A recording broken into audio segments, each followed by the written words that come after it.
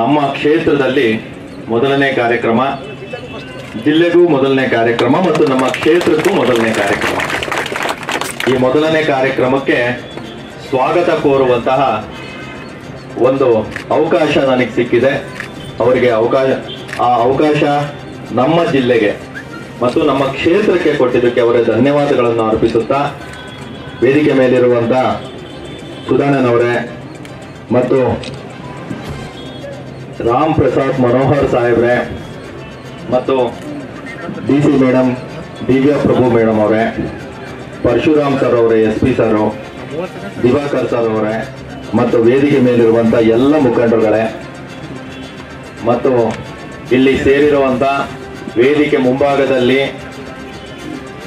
ಎಲ್ಲ ನನ್ನ ಅಕ್ಕ ತಂಗಿಯರು, ತಾಯಂದರು, ಎಲ್ಲ ಪತ್ರಕರ್ತರು ಎಲ್ಲರಿಗೂ ಕೂಡ ಅಣ್ಣ ತಮ್ಮಂದರು, ಎಲ್ಲರಿಗೂ ಚಿತ್ರದುರ್ಗ ಜನತೆಗೆ ಎಲ್ಲರಿಗೂ ಕೂಡ ವೀರೇಂದ್ರ ಪೊಪ್ಪಿಯ ನಮಸ್ಕಾರಗಳು.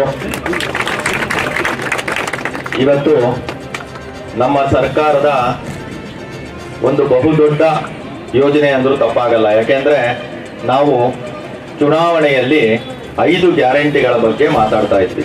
ಪ್ರತಿ ಬಾರಿನೂ ಕೂಡ ಐದು ಗ್ಯಾರಂಟಿಗಳ ಬಗ್ಗೆ ಮಾತಾಡ್ಕೊಂಡು ಬಂದ್ವಿ.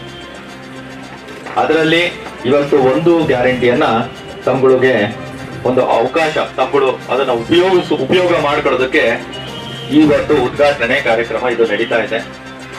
ಎಲ್ಲ ಮಹಿಳೆಯರು, ಅದರಲ್ಲೂ ವಿದ್ಯಾರ್ಥಿನಿಯರು ಅವ್ರಿಗಂತೂ ಇದು ಎವ್ರಿ ಡೇ ದಿನಾನೂ ಕೂಡ ಅವರು ಬಸ್ಸಿನಲ್ಲಿ ಪ್ರಯಾಣ ಮಾಡುವಂಥದ್ದು ಅವರಿಗಿರ್ತದೆ. ಅವ್ರಿಗೂ ಕೂಡ ಇವತ್ತು ಉಚಿತವಾಗಿ ಸಿಗ್ತಾ ಇದೆ. ಮತ್ತು ಎಲ್ಲ ಮಹಿಳೆಯರಿಗೂ ಉಚಿತವಾಗಿ ಸಿಗ್ತಿದೆ.